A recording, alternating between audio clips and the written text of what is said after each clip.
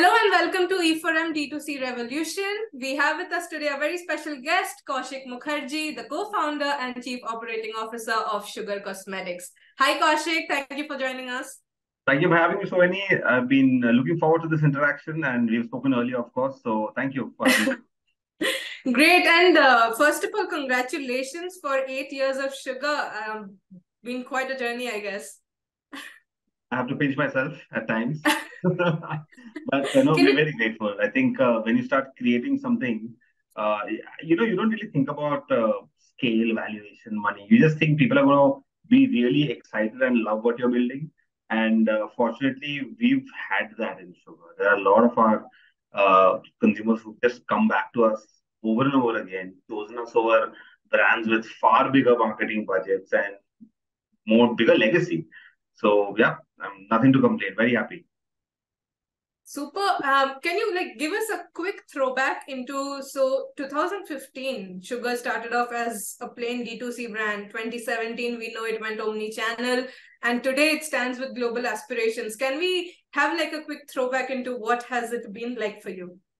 So honest throwback, right? So honest throwback uh, is 2015. Uh, Sugar was uh, born out of the conviction and part desperation to stay alive as a company, wherein we and we spent three years in the beauty space, and uh, it just seemed that beauty space and especially the color cosmetic space within the beauty space was ripe for discussion disruption. And, and I'll tell you why. Because historically, you know, skincare is a much larger market, so everybody focuses on skincare. It's larger, it's it's bigger, the opportunities there.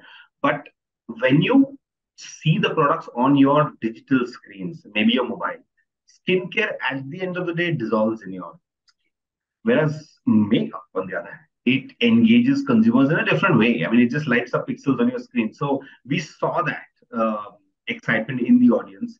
And uh, we also felt that the awareness about products was increasing in leaps and bounds. People wanted to know what beyond the legacy brands who were at a mass market uh, price point, what if they spent a bit more? Can they get better products? And I think that's what we just narrowed down, we hunkered down and said, let's just build a better crayon lipstick. Let's just build a better liquid lipstick. And uh, that played in our favor. So, uh, so yeah, that's how it started. And somewhere along the line, our board asked us that um, you have to decide what you want to be. I mean, obviously, your consumers seem to love you, but uh, do you want to be a large online brand, a D2C brand, or do you want to be a large beauty brand? And uh, I think we were just very high on adrenaline and we said that we want to be a large, large, large beauty brand in India. And uh, we didn't really know much about the offline space. Uh, neither did we end up uh, doing what a lot of people do, just poach somebody senior who can lead a completely different vertical. We sort of tried doing it ourselves. So it took time, but um, today, slightly more than half of the, the revenues of the company come from offline retail. So it's a big shift from what we started as, but I think it's for the best because uh, both we have to win both online and offline to end up challenging the bigger brands. Great, and you know the cosmetic space, the skincare skincare space uh, has a lot of players. What are your plans as a leader in this space to break through this clutter? Not a leader, getting there hopefully. um, but I think one of the leaders we may say. One of the. So I, I, think I think you you make a very fair point. There is so much clutter right now. Everybody just thinks that let's just. Uh, I have a joke which I cracked that you know wake up in the morning, brush your teeth, book an Ola, go to Asangao, come back with nail paints with your name printed on it, and boom, that's a brand. So it's actually uh, you know people say that when everybody's digging for gold, the person who sells shovels makes the most money. I think the people are making these products are making a lot of money right now. so, um, but no, I think I think it's important to un- not start with the product. I think it's important to start with the consumer. I think a lot of us, a lot of the brands today, newer brands, I think they start with the product. They say, okay, you know what? What's easiest to make in my budget with a lower minimum order quantity requirement? Nail paints, great, let's do that. Kajals, great, let's do that. If I were to launch a brand today, I would ask myself that in a market which is so saturated with like two very, very popular kajals, how would I ever make a name? I can make a name when there is space to make a name. And I think that's what our learning from sugar has been uh, liquid lipsticks as a category is very popular today. Back then in 2015, 16, 17, it was not even there. But because we managed to play in that category, there was superior traction and interest. Today, everybody has one. So it's important to figure out where you want to play it, and that where has to be a space. It's not a price point. Because price point, if you start, if your value proposition is price point in a desire category, it's not a it's, it's, not a need category, it's a want category. Then you will eventually keep, you know, you want to hold on to the price point. Somebody else will come and offer it something cheaper. So product has a massive play in this. And I would just focus on product 10 out of 10 times if I were to launch a new brand at different times. Okay. Um, so also, you know, I just came across uh, this news of Sugar collaborating with uh, Amazon Prime Video for Made in Heaven. Yes. Where where did this strategy come from, or why did this collaboration sort of uh, where did this idea come from? You know, I'm so happy that my answer is the same as my previous question's answer. It came exactly from our customers because when we uh, mined a lot of what our consumers' interests were, you know, yes, marriage as a theme plays across a large part of our target audience, but we saw something different here. It was marriage, but not the traditional understanding and acceptance of what a marriage uh, can and or should be. So, Made in Heaven just fit there in the slot very well. And when we worked with the team and discussed the idea, they were super interested about how we could amplify what their efforts were. I think it fits in, you know, very well. Uh, we also have invested and dabbled in this space earlier. We had a property called Sugar Brides, which we ran for a couple of years. And uh, this is another extension of our uh, interest in this space. And I do, I think we're going to continue to build on this. So hopefully in five, six years, uh, sugar as a brand will be very inextricably associated with the whole wedding space because uh, I don't know, it's it's just a lot of colors and joy. It's it's pretty much what sugar should be. And okay, let's talk uh, on the you know or broader perspective the entire you know like we spoke there are a lot of players in the cosmetics and skincare space. What eh, what are you perceiving uh, the entire space right now as where is it going? How much you know you need to put in more efforts etc where where is the cosmetic space going? And skincare of course. So i think there are two factors that are affecting our industry. One is there's premiumization so people are trading up. Now when they trade up usually you would expect a lesser known discerning consumer to say i'm trading up just because i'm getting a perceived larger brand. I mean i think that's not enough today. People who are trading up want to know why what they're getting. Is it is it you know more responsibly sourced ingredients or is it just better packaging or uh, is it just a better product formulation? They need to know which is why you'll find call outs in skincare very common not so much in makeup. Now there are significantly popular call outs in makeup category as well. I mean we've know, call out long lasting makeup because we really feel we want to stand for that given India's weather conditions and everything. So, yeah, I think that's one thing. The second is there's a lot of um, branding also happening for the unorganized market. So, earlier people would buy maybe a kajal or uh, nail paints from any unbranded category. People are more, you know, aspiring right now. They want to use the brand they've seen others use. So, while a mass user goes to a mass stage, mass masstige goes to prestige, and Prestige goes to premium, unbranded will also go to mass. So there's a massive play over there. It's not a market which we play very actively in, but there's a huge opportunity for that. What about the tier two, tier three markets? Do you see any untapped potential in those markets as well? Massive. I, I, I you know, we've always, if you've been born and brought up in a metro, unfortunately, you live with the bias that tier two, tier three is not where the money lies. that is, that is such a joke because when you look at data, of the basket size of tier two, tier three, you realize that see they you know they see the same shows as people in tier one metros. They aspire for the same thing, get influenced by the same K-pop or or you know uh, you know Western um, trends as the person living in the metros. So the only thing left is access. Internet falls for this access, and that's why when uh, when e-commerce players have sales, the I mean, the basket size is pretty much similar across territories. When we opened some of our uh, stores in tier two, tier three cities, we were shocked and surprised. I, will give an example. We have 200 stores. Uh, can you random guess which is the number one uh, Okay, I'll, I'll, I'll give you four choices. Okay, so there's uh, number one most selling store which city, which city is in which city. So there's Mumbai, there's Delhi, there's Surat, and there's Bangalore. What would you choose? Mumbai, most likely. Ah, that's what I would have chosen. Yeah, it will blow your mind out. It, it, it's Surat. So answer. Damn, is it? exactly, exactly, right? So yeah, so so we are also learning, uh, and we have to keep learning because the consumer is changing very rapidly. There's the the the divide is very very fine. And and what about you know uh the let's talk about the digital side of it, right? Sure. Uh, when you D2C brand, they're all big on uh, digital and everything. What is Sugar's digital strategy or the mantra to uh, you know a bang on digital strategy? Do you have one mantra or can you give us? I, I do. I do. It's it's not a very popular mantra. I I, I tell the team, look, uh, try to educate, try to entertain, don't try to sell, because the minute there's selling pressure, see our category people buy when they like to buy and when they feel happy making a purchase. This is not like you ghar pe aata khatam ho gaya and you know you need toothpaste and it's getting over and you're just you know refilling. So it's it's, it's not a, it's an emotional purchase.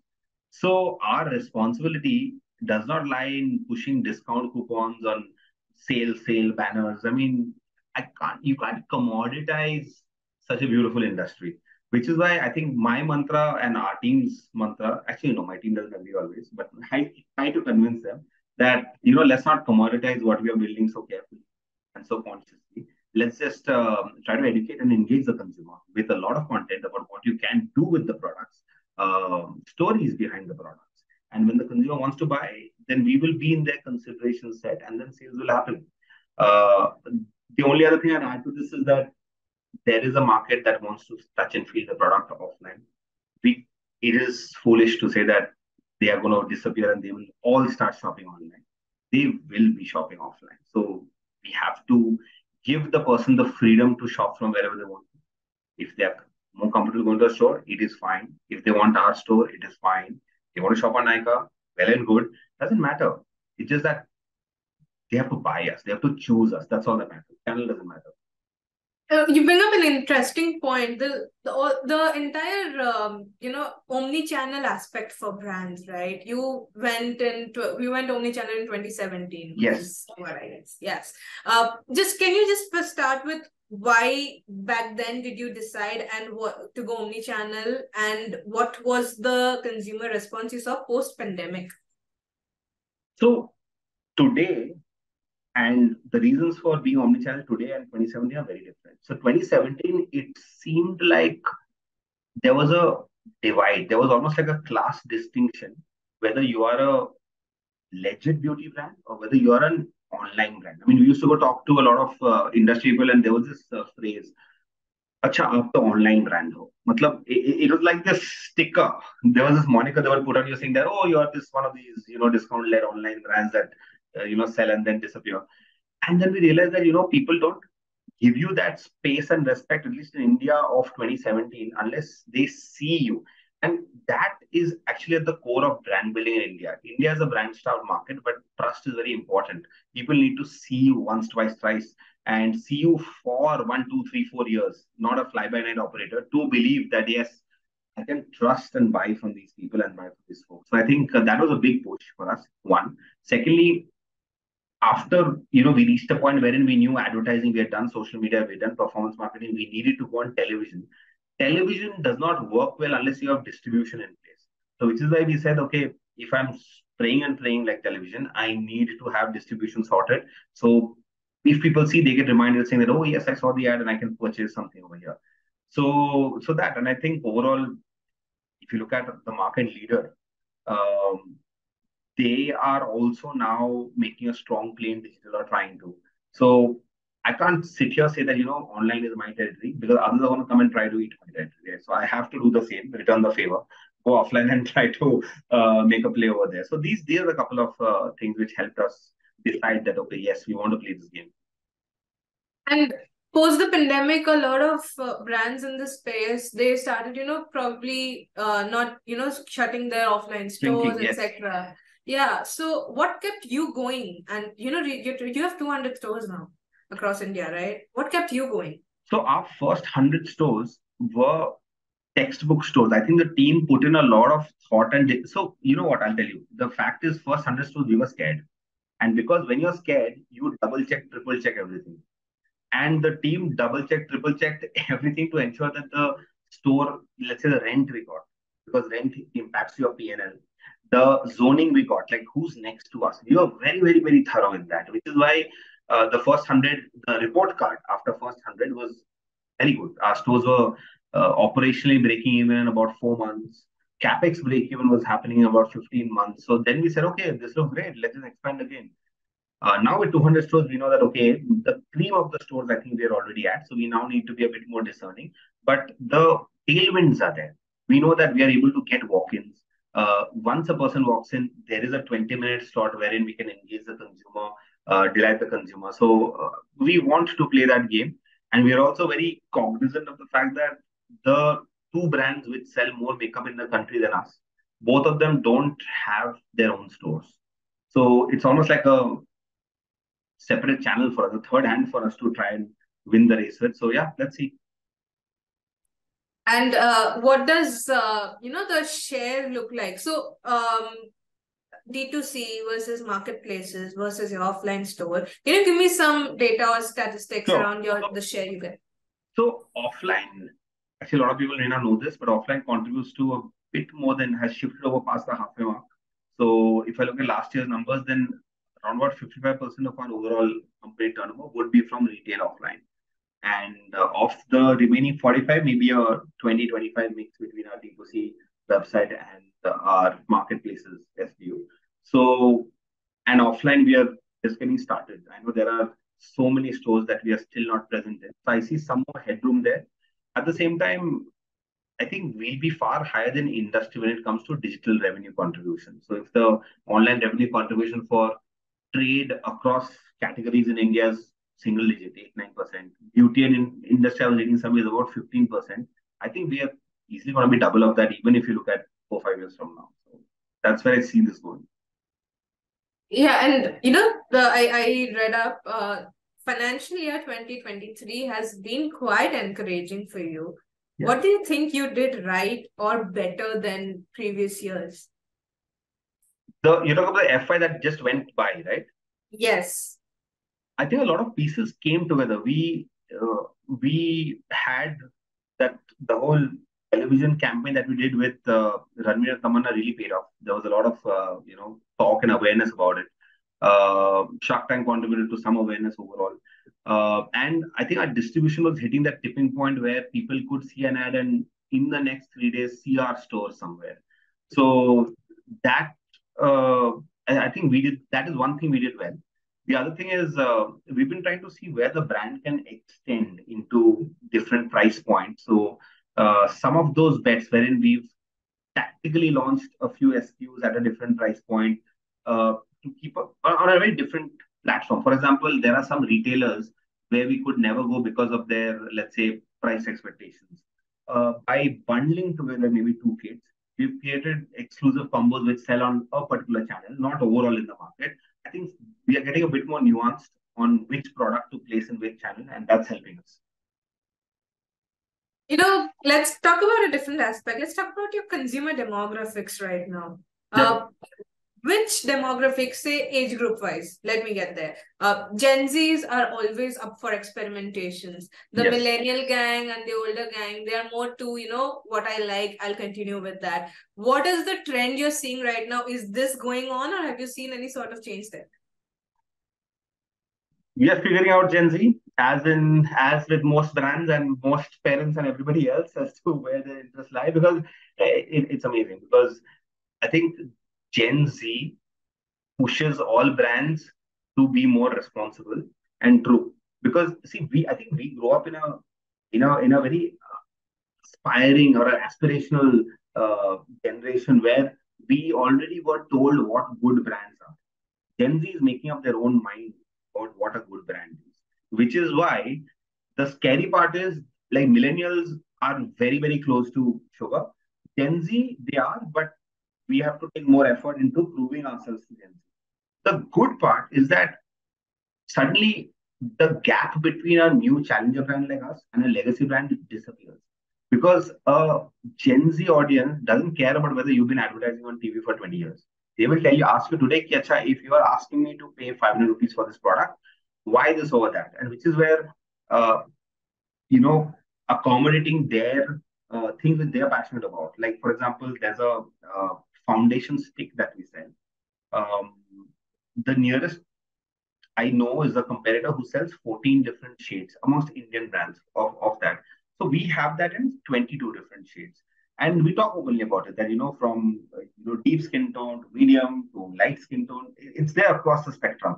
I think that has played. We've seen a lot of people, in fact, face as a category today is almost the same as lips for us, which was not the case pre-pandemic. Pre-pandemic, it was maybe one third that of lips. So people are trusting us with more, uh, I think, uh, higher priced, more sensitive purchases, and I think it's good for the brand. It's the direction we want to take. And gender wise, uh, do you see a lot of male consumers, uh, you know? No.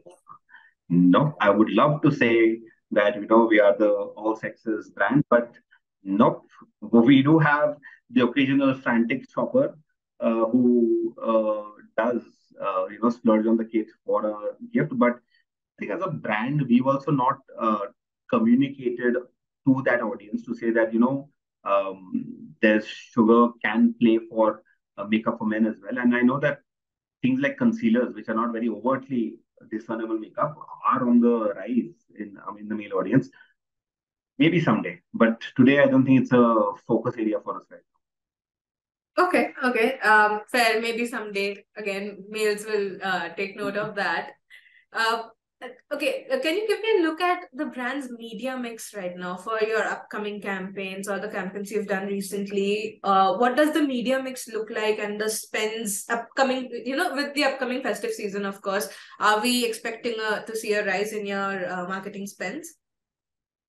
So this year, definitely no, but we are, but we're not going to maintain the same spends as last year. So last year, I think we, um, I think we spent quite a lot, but the, the thing is, let's see, when you spend uh, let's say 40, 35, 40% of your revenues in marketing on a year wherein you know you are investing ahead of time. Next year, when your revenue is double, I mean, which is what we're expecting this year, suddenly you realize that your marketing has 20, 22% of your overall uh, sales, so which is fine, which is manageable. So they, if you look at our mix, a large part of it is about one third of it is on television.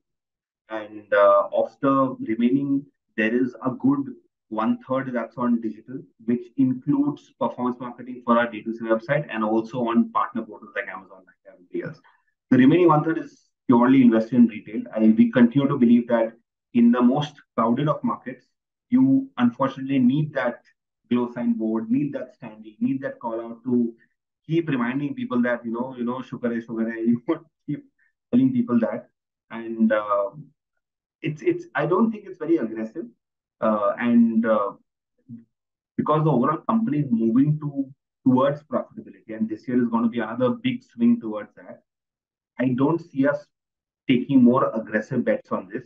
There's a lot of focus on uh, repeat consumers and getting people to come back to the store for a refill purchase or a walk-in purchase. We're spending effort on that in preference to, let's say, brute force marketing and more retail marketing. So how exactly are you doing that? The repeat customers, how getting them back? How exactly so, are you planning? So we've internally, you know, we are internally trying to test a hypothesis to say that in case there's discovery of product that needs to happen, it is more likely that the audience will want to go to a store. So our duty then is not to push a coupon code for the app, is to give the nearest location to, to the person and say, you know what, hey, you can reach there in, you know, 15 minutes right now. This is your nearest store and go check out our products. Whereas once a person shops with you, we do, of course, can contact them because we have their details. The replenishment purchase, we are trying to drive through the app. So if a person shops for a mascara, and we know that mascara, once you open it, six months, it'll try and post that. So there is a user journey which we are building. In some categories, it is already prevalent, which says that, okay, I know your usage pattern is for nine month period or a three month period. This is how I communicate with you to top it up before you drift off to another brand or forget about it altogether. So a lot of these things are yet to play out, but directionally we want to move towards that. I think I think that was quite an interesting and insightful chat, no, Thank you, thank, thank you, you so much. Thank you so much for uh, joining us here today at E4M D2C Revolution. Um, and uh, all the best for all your journey and all your lined up activities. Thank you. Thanks, Vani. Thank you. Thank you.